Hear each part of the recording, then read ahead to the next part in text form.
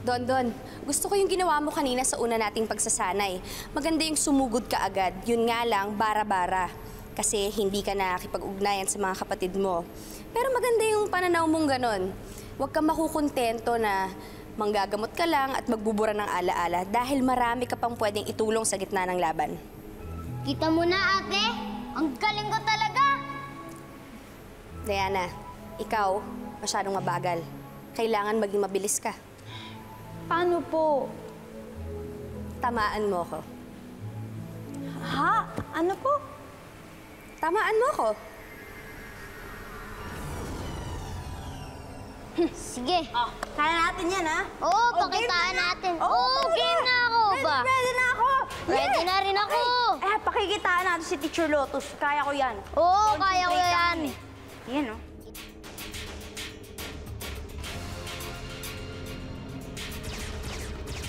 Hi, Diana. Kuya Bogs!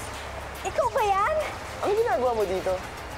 Ah, sandali lang ha, kasi madidistract ako eh. Ano ba yan? mo? Diana, ano ba? Mag-concentrate ka! Eh, eh, sandali lang po. Ano ba ginagawa natin dito? Ay, ah, Kuya Bogs, ah, Bakit ka ganyan?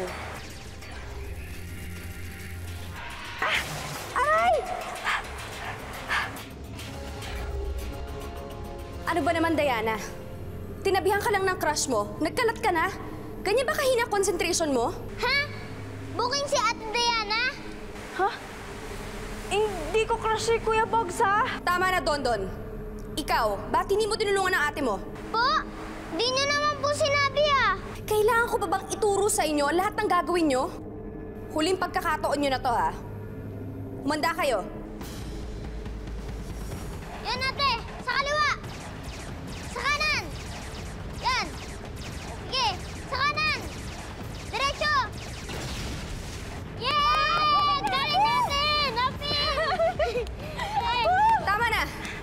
Magaling. O, Daniel, ikaw naman. Handa ka na? Handa na po ako. Katunayan nga po, nag-push up na po ako tsaka nagbuhat na po ako ng barbell. Napansin ko nga na umaasa ka sa iyong lakas. Oo po, dun po kasi ako magaling eh. At dyan ka rin babagsak. Kung hindi mo gagamitin ang iba mo pang kakayahan, An- ano pong kakayahan po? Ano-ano po yung mga yun?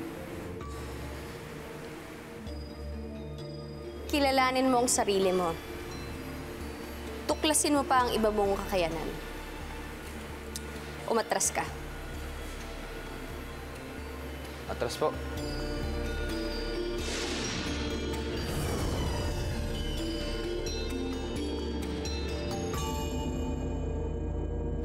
Ano kayong papagawa sa akin nun?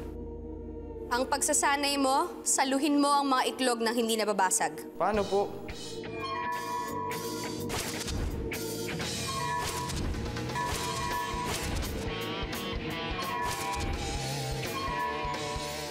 Ayoko na po! Sumusuko ka na? O sige, break muna tayo. Pero pagbalik ko, dapat malutas mo na ang pagsasanay na to.